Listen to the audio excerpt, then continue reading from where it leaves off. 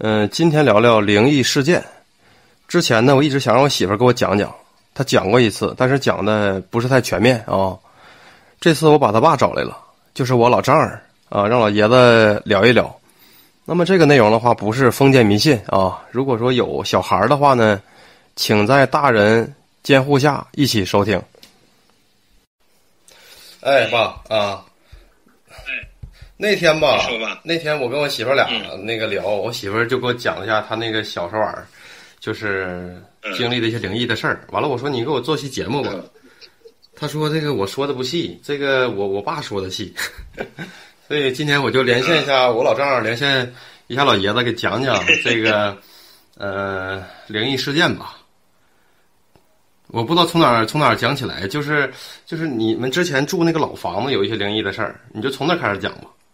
那个我们住的这个房子吧，反正一般人吧都好像受不了。为啥说受不了呢？嗯，我们那十八户人家吧，几乎每一家吧都有这个特殊的叫人理解不了的这个现象。哎，这个我们在那儿住也十多年。嗯，当时盖这个楼的时候吧。有个小孩儿，就是四五岁小男孩儿，他就是小孩儿讨厌嘛，就是站着那个坑那个地基那个坑，嗯，往那个那个坑里头撒尿，嗯，结果吧小孩儿他不知道啊，但是那那个人那坑里头有一个杆子绑着一个那个刀闸，嗯，结果这小孩儿就尿在这个刀闸上了，就是电闸，嗯嗯，结果就把这小孩儿给打死了，嗯。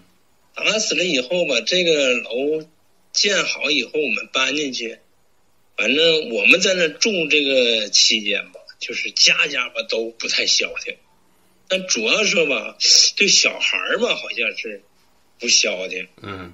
比如说，我们那有一个姓刘的，我当时我管他叫刘大娘。嗯。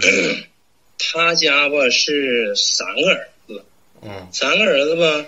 唯独呢，就是他那个小儿子老三生一个小子，嗯，剩下那个前面那俩大的吧，都是生的丫头，嗯，这个小孩在五岁左右，好像比五岁还小点儿，不是那么太懂事儿，嗯，完了就告诉这个他奶奶说：“那奶奶，我要到那个垃圾站那儿去打出溜滑去。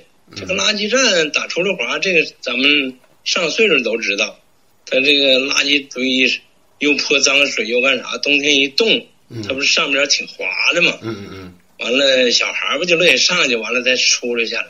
嗯。完了，他奶奶不就说，就是我这刘大娘，他就说，他说可不能去啊，去了你说万一这个一下钻车轱辘底下，怎么压死了怎么整？完了，当时他这个爷爷在跟前儿，他说：“你看你这老太太。”你这咋这么说这个呢？完这都没啥，也没往心里去，就过去了。过去，但是不超过好像五分钟，这个小孩吧就鬼使神差的自己就上那个垃圾站去了，没多远那垃圾站，真就像他刚才他奶奶说的似的，他一打出溜滑，正好前面来个车，嗖溜溜正好滑车轱辘正面那个顶上去了，嗯，那个车车轮底下去了。完，结果车刹不住，有冰啊，嗯，就把这小孩给压死。您说这个事儿是发生在大概什么时候？长春什么位置啊？嗯，这个事儿吧，是我是当时吧，我是八，我是七八年当兵，我八三年吧，这个回来的，当五年兵。嗯，这个事儿吧是啥呢？是他们，就我当兵期间，他们那啥跟我说的。嗯嗯嗯，哎。因为啥？这都是我们老邻居啊，嗯，跟我说的。完了，后来这个小孩死了以后，完事还没完，哎，完这个他他爷爷这不就是上火吗？寻思老刘家好不容易有这么个心心心肝宝贝，嗯，完了就挺上火，挺上火吧？就说啊，这我这没进去，哎，熬过好几天，天天都是这么一句话。完了，他这个老伴说的，就刘大娘说说，你看你这死老头子，你要是这个活的没进去，那你就吊死去呗。嗯实际上这也是好像就是一种好像一种这个闹笑话，那个不是说的真话实话啊。嗯嗯，完结果呢，这也赶得巧，这个他大儿子刘立石回来，完了说的，那个我爸怎么干啥去了？那他那就是我这刘大娘说的啊，那个刚才我那还说了他一嘴，他可能生气走了，不知道上哪去。完这娘俩正议论呢。完了，人大伙说：“哎呀，那个火车道那块仙桥底下那块又吊死个老头。”完这刘律师，我管他叫大哥。他一听，呀，会不会是那啥我爸呀？完了，这就赶紧撩到那儿去了。实际我们这个楼离这火车道并不远，嗯，就是在那个长春市西安桥附啊仙桥附近，是不是？啊，对呀，啊，对呀，他就把他那什么。不大一会儿，他就把他爹背回来了。嗯嗯嗯。大伙都说这老太太说话怎么这么灵验呢？嗯。哎，当时一开始吧，大伙都觉着这都不足为奇哈，这个可能也凑巧。嗯。完了，紧接着呢，我们那个组长，哎，我形容他那，他那个他住的吧是他舅的房子。嗯。哎，完那个他他他对人挺热情的，各个方面。特别好，他有好像三个孩子吧，嗯，哎，也挺理想的，男孩女孩都有，嗯，完结果呢，他对那教育，我们大伙都感觉到挺孝顺的，嗯，完结果就不知不觉的，他他就自己就在那个那个小屋就上吊死了。实际上，按理来说，那个小屋吧，真小，他也上不了吊啊，嗯，不咋整就死了。就吊死了，在屋，在那小屋里头。嗯，这不是两家了吧？嗯，完再往这边来呢，是我们家吧，把这一头。咱就说咱自己家。嗯，就是那个我妹妹，那个嗯，就你那老姑。嗯，她不也是吗？嗯，他说那啥，就是跟那什么，我妈说，那个我上那什么上大庙去。嗯。那个去去去敬香去。嗯，我妈说的，一个年轻小姑娘，你敬什么香？上上什么庙？就不让去，不让去。后来说那什么吧，我我上那个农村去。嗯，农村去完了，我妈说你上农村去干啥去？这好像发大水那年，我记得是。嗯，哎，当当当兵回来了，那是当兵回来了，有那个往这听的那是。嗯嗯嗯，完了说那啥。说这个，你干啥去上那？他说我爸他们单位不要农工嘛，我上我二姐那找农工去，就上那个司马家那边。嗯，哎，上那找农工去。完，结果十二点来钟走的，那时候在长春往范家屯车好像也就是一个来小时。嗯，完了就下车了。下车当时碰着就我那个表弟呀，叫陈长军。碰着他在这个车站那火车站，他是那什么，那就是号着灯举号着灯指挥指挥火车的。嗯，完了看着他说：“那个双鱼，你到那干啥去？”他说：“我那上农村找农工去，给我爸单位。”说：“那这天都这么晚了，嗯，你到那去不得贪黑走？不行，先上我们家住。”他说：“不用，我没事儿哎，一会儿就到。”完了，后来我这兄弟说的，那你干脆吧，你还是骑我车子吧，还能快点儿嗯，因为在范家屯下了这个公路，那还有那啥十四五里地嗯，完这不就他骑着车子就去了。嗯，去了嘛，就是越走越黑，越走越黑。那天吧，这也赶的也巧，那天赶的正好是阴历吧，七月十五。嗯。哦就是七月十五，不是说叫鬼节嘛，是吧？嗯嗯嗯。哎，到处都是烧烧纸上坟，那啥。完了，正好赶上那几天嘛，就是下大雨，下的吧，地都特别泥泞。嗯。他这在公路这个所说的这个下了国道以后，再往这个农村道去，那都稀泥呱唧的。嗯。他还穿着裙子，穿着塑料鞋，根本就没法走。嗯，车子那两个轮两个轱辘，那也整的都是泥坨子，干的越走是越推不动了，最后就干脆就走不了就扛着，完他也挺倔的，扛着，哎，完了结果这不就也说不上啥时候了，就到我二姐家了。嗯，我二姐和二姐夫一看，说这这这他这这咋这时候来了，造就泥头拐杖的，哎，完了当时给他下点面条，给他洗洗裙子啥的，嗯，结果他吃完了，哎。完说，那你睡一觉吧，我姐让他睡一觉。完，结果他是睡了，但是不知道啥时候自己起来了。嗯。起来吧，就走了。走了，当时我二姐夫说：“哎呀，这个我听着门有动静，是方玉出去了。”完，后来二姐说的：“嗯，你看看，不行，你你就撵撵他。”完了，他就撵出去，撵出去。后来我二舅又回来，他说：“你看，深更半夜的，我这单独撵的也不是那么回事儿，为咱俩一起出去吧，把孩子那啥关在屋里头。哎呀，啥孩子呢？嗯，完这不就他们俩就一直撵着就是果道上，结果看着吧，他在前面走，他俩在后面撵。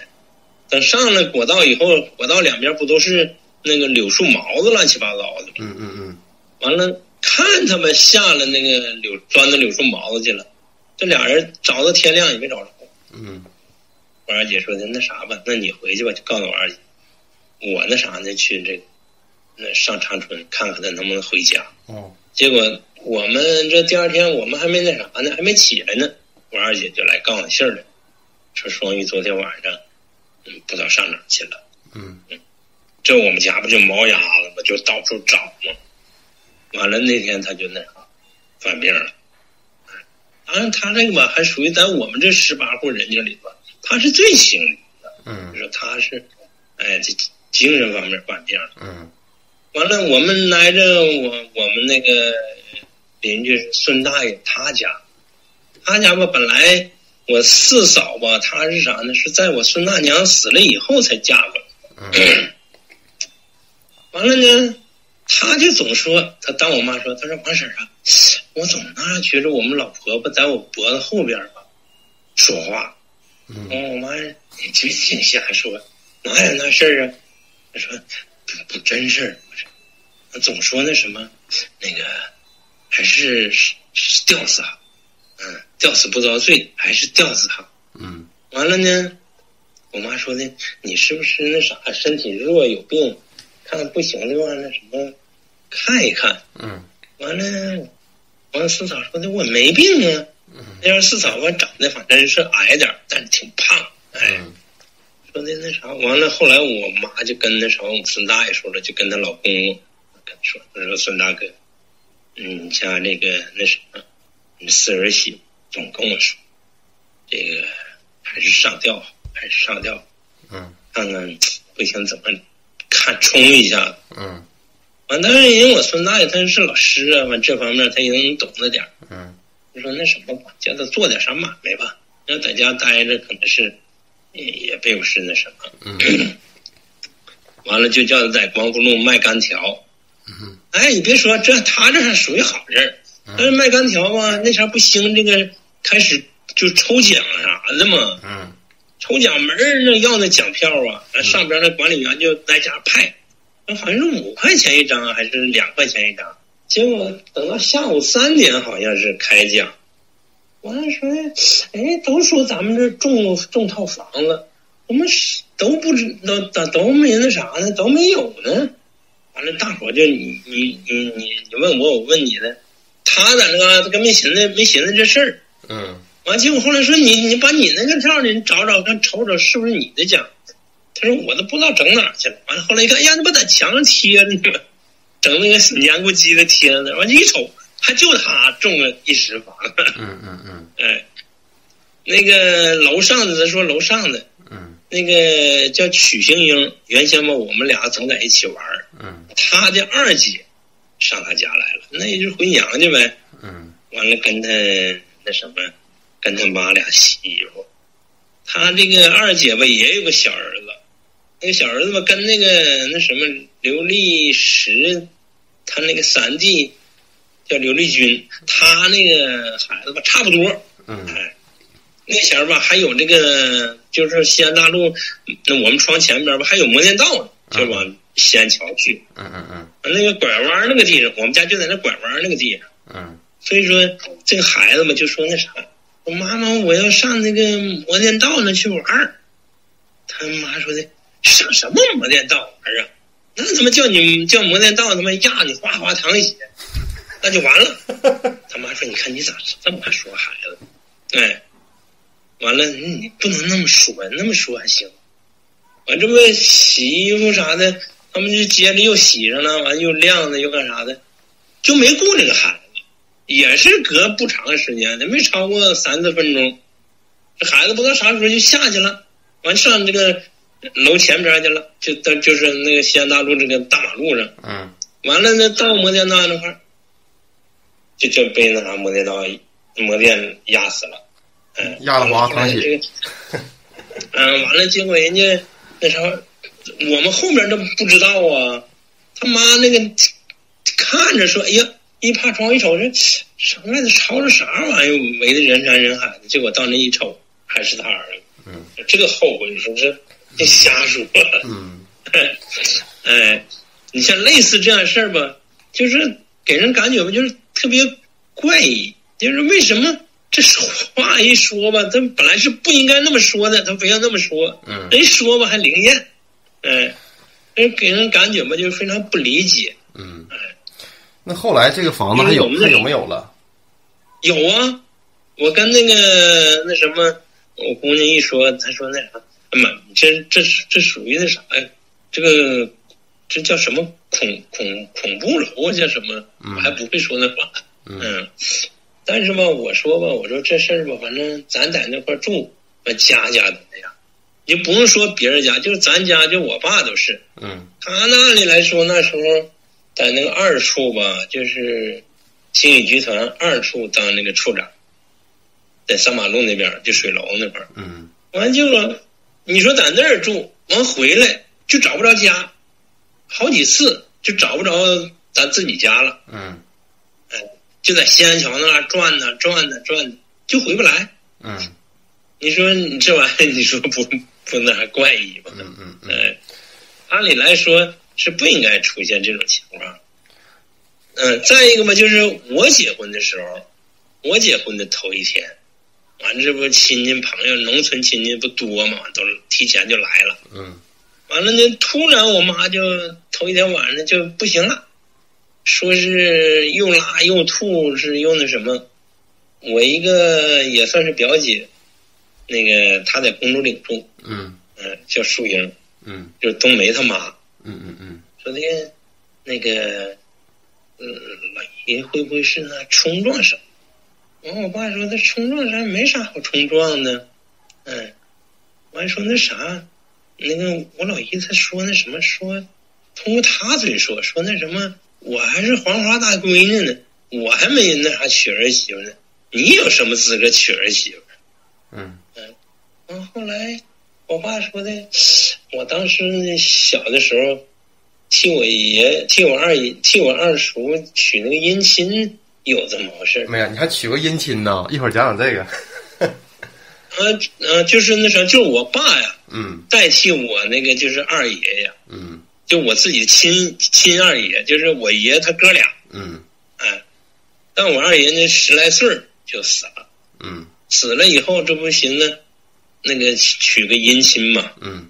哎，我爸呢是代替的替身完了娶的，娶的就找人别的庄呢，有的刚死的小女孩嗯，这个死的小女孩完了呢，来扶到我妈身上来了，说是就是我这个继母。哦。扶到她身上。完了呢，用她的嘴巴说，就说我黄花大闺女没结婚，你有什么资格娶儿媳妇？嗯嗯嗯，就是说我妈。嗯，哎，她用自己的话吧，用她这个这个女孩的话吧，完了说说我妈，完我妈呢，她说的就，哎，说这么个情况。嗯嗯。完后来，这不我爸这么一解释，完了后来那什么，嗯，我叔人姐说，哎呀，他真懂这个。他说这么的吧。整点这个刀纸，我那啥拿去，拿着老姨的这个那贴身衣服，嗯，到那个摩天道那烧点纸，嗯，看看能不能好。嗯嗯，完结果呢，他拿着纸，拿着衣服到那个摩天道呢，还没等回来呢，因为我妈就下地了。嗯嗯嗯，但是他临走的时候吧，我告诉他说：“那个老姨夫，你把那个斧子吧，我出去以后，你把那斧子那个撂到这个门门这块儿。”嗯，哎，结果撂在这门这儿，等那什么他回来，那我妈这不就下地了，就跟好人一样，啥啥事没有了。嗯嗯嗯，该干啥干啥。嗯嗯嗯，完他说：“哎呀，那个我老姨咋样？”他一看我老姨那啥，那看我妈那啥事呢。他说：“呀，这不真真挺灵验的，烧完纸就好。但是他那忽悠一下子就啥也不知道了。完了，你说：哎呀，那这怪了。你说这你们娘俩，他你好了，他又不行了。完了，他就半睁不睁眼睛瞅我爸：老姨问，你看你啥事儿没给我做明白呀？我爸说：你也没吩咐我做啥呀。他说不对，他说你。”你你再想想，你看你做啥了？我爸说：“哎呀，可不是啊！你告诉我那什么，这个你临出去叫搁个斧子呢，我给忘了，还在门口放着。嗯，完了就把斧子拿拿屋来了。你说拿屋来，嗯，他这就手就好了。我说那你说这事儿，你说他就是是不是有点太怪了？就是爸，你说这个事儿，我遇到过一次，就是鬼神借活人说话这事儿。嗯，我给你我我给你讲讲啊。